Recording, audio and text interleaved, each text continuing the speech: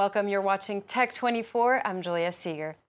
In this edition, Silicon Valley CEOs slam President Trump's immigration ban.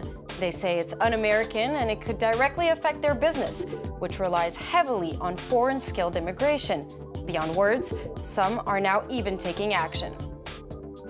And we'll test Ekko by Miliboo. The famous Scandinavian brand has developed a smart connected mirror set to improve your daily morning routine. But first, we start with this historic win. For the first time, artificial intelligence developed by Carnegie Mellon University has defeated the world's best professional poker players. It happened at a casino in Pittsburgh during a 20 day marathon competition.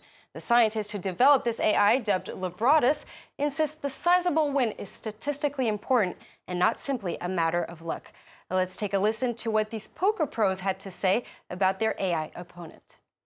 AI this year, Libratus, is quite a bit better than uh, Claudico in 2015. It made some pretty large mistakes at times. You don't see that with Libratus. It's much more calculated and much more tough. You really have to pry every chip you can out of Libratus' hands, and you have to do it with skill, not counting on his mistake. The most surprising thing is its ability to adjust, its ability to just learn every day and get better. It's been taxing on us to, to try to find weaknesses, especially after it just seems to be able to adjust to us. And it's now time to welcome our very own Dhananjay Khadilkar. Hello and welcome, Dan. Hello, Julia. Why is this such a significant achievement? Well, first you need to understand what poker essentially is. It is a game of incomplete information. Unlike chess, where all pieces are on board and a computer can calculate by knowing what the opponent does. But in poker, you don't know what hands your opponent is holding. So you can't just keep on playing with aces in hand or kings in hand. You have to bluff to win. You have to counter bluff, you know, your opponent in order to uh, garner large amount of uh, chips like this uh, program did. It so you have to adapt in real time. Absolutely. It garnered more than 1.7 million chips combined, more than the other four pros who were very good at the game. So this essentially was a heads-up match. Heads-up is a one-on-one match against each professionals. Uh, in this case, there were four players. This was done over a period of 20 days. Around 120,000 hands were played. So that's quite a staggering amount of hands for the uh, computer program to play something it didn't it didn't learn the strategy from human players. Instead, it just understood the, the rules of the game and it started learning on its own by putting As it in, was playing. Yeah, by putting by trial and error. So it put in around, I think, 15 million computational core hours, and it was assisted in doing so by a supercomputer which was connected to this artificial intelligence algorithm or on which this algorithm ran. So this computer's uh, uh, specifics are quite quite mind-boggling. So it is uh, the computing power is I think not computing power, but it was 7,250 times faster than our uh, high, than a high-end laptop, and its memory was 17,500 times more than the normal laptop used. So in terms of computing power, it was enormous, and as you can see, you can see the results. And but at the same time, it is that's why it's significant because, as I said, right. it's a game of incomplete information. Right. And now it's not the first time that a machine has outsmarted humans at games. That's right. Around 20 years ago, there was a massive, uh, how do you say, earthquake or massive uh, sensation because uh, Deep Blue, the uh, the machine uh, Deep Blue that was made by IBM, it uh, defeated Garry Kasparov, arguably one of the world's strongest chess players. And till then, no machine had defeated a grandmaster or a world champion, uh, for that matter, in a classical format. So they played more than one class, uh, more than one classical games, and Deep Blue managed to outwit uh, Gary Garry Kasparov, and that was a great sensation. And that was not the only instance in which the machine had outsmarted human beings at a game. Uh, I think around two years ago, uh, Google's uh, DeepMind uh, algorithm or the software, it managed to beat one of the best Go players.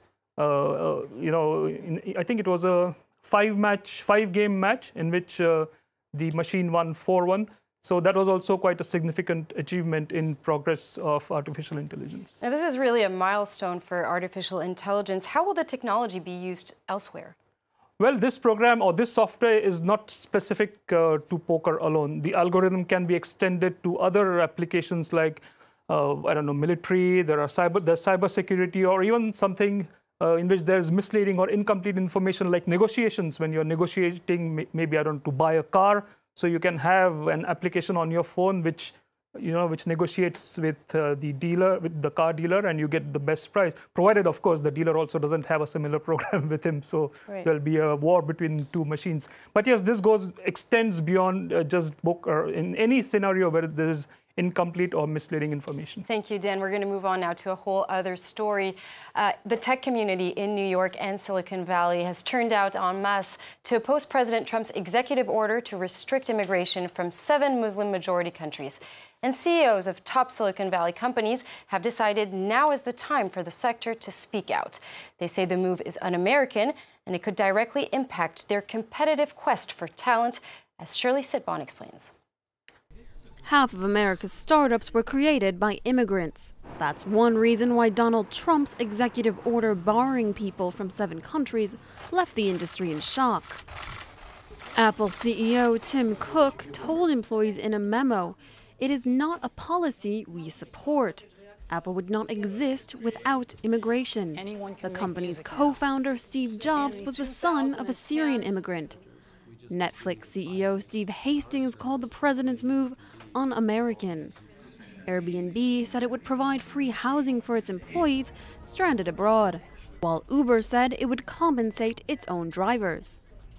Many tech bosses say that banning foreigners is not only unethical, it's also counterproductive.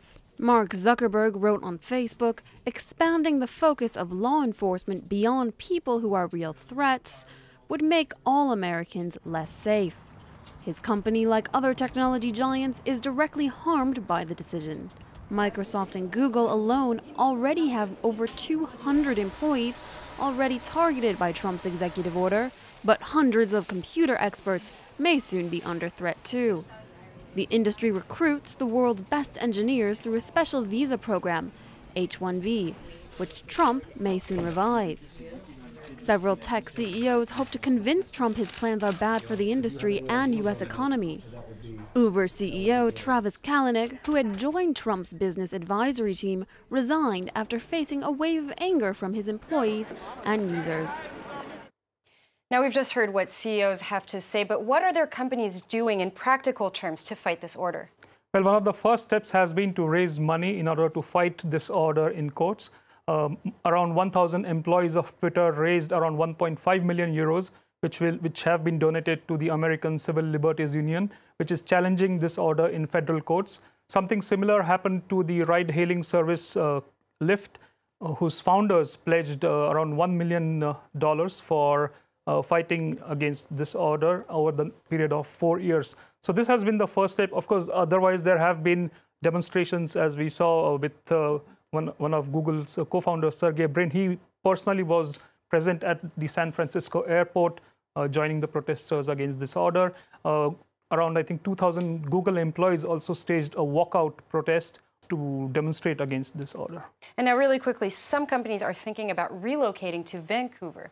That's right no matter what the situation is, there's always an opportunity. So a few entrepreneurs have now uh, initiated this idea of providing service in which uh, H- H1B visa holder, they can re- uh, relocate to Vancouver.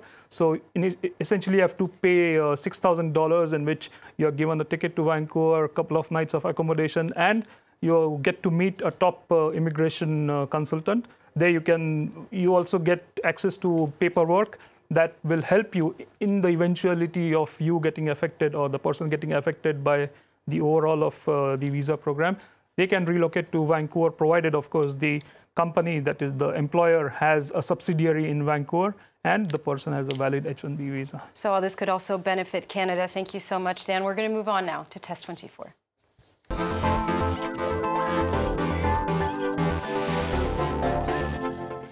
The Scandinavian furniture brand Miliboo has come out with a mirror, and not just any mirror. It's essentially an interactive multimedia platform that executes some routine works of your smartphone without touching it. Dan, tell us more about this mirror. As is it indeed the smartest mirror there is on the market? In general, I don't like watching mirrors, but uh, it shows you the reality. Anyway, so this mirror is a smart mirror because you can control it using hand gestures So you just have to swipe the hand either left side or left uh, on the right side, and you can change different things. So for example, on this mirror, you can play music, you can play YouTube videos. So the, the size of the videos is around the size of the tablet, which is quite impressive.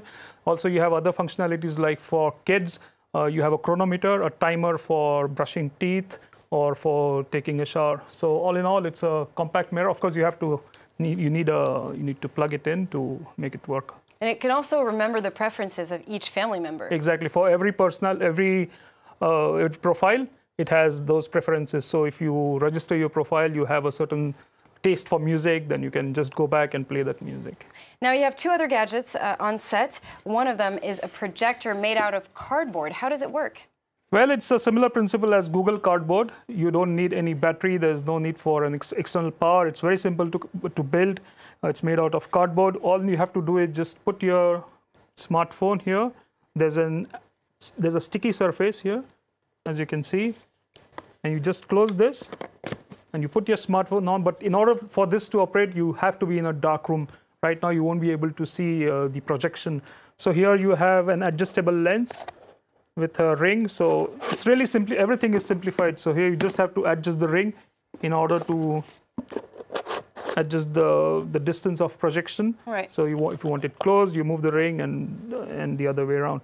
So this is a projector made by a French startup called uh, Gyrotech and uh, it also has another device which is an um, an evolved avatar of this projector. Right. So this version is, is better. It's convenient when you're traveling, and this other version that you're just going to show us is more for. It's more conventional. It, okay. You need uh, an electri electricity source. You also here have USB. It's more compact. And this, as you mentioned, this you can go anywhere with camping. No need for electricity. While in this uh, version, you need a power source. And what are the prices? Well, this comes around uh, 39 euros, and this is, I think, uh, 50 euros more than uh, the, and the basic a, gyros, There's a better quality also on, on the yeah. prototype. Thank you so much, Dan. Well, that's it from us here at Tech 24, but do stay tuned to France 24.